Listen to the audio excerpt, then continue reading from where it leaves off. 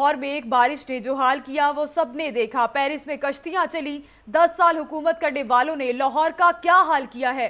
कागजात नामजदगी की मंजूरी के खिलाफ केस में जस्टिस मुजाहिर नकवी के रिमार्क्स, तहरीक इंसाफ के सरदार गुलाम अब्बास को नाहिल करार दे दिया गया। उमर शाकिर हमारे साथ मौजूद है उनसे जान लेते हैं। उमर शाकिर, आगाह कीजिएगा, जस्टिस मुजाहिर नकवी ने मजीद क्या रिमार्क्स दिए?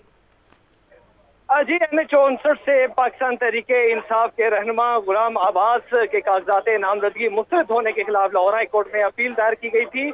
आज लाहौर हाई कोर्ट के दो रुकनी बेंच ने एपलेट ट्रिब्यूनल का फैसला जो है वो बहाल रखते हुए पाकिस्तान तहरीके इंसाफ के रहनमा सरदार गुलाम आबास को इलेक्शन लड़ने से रोक दिया है।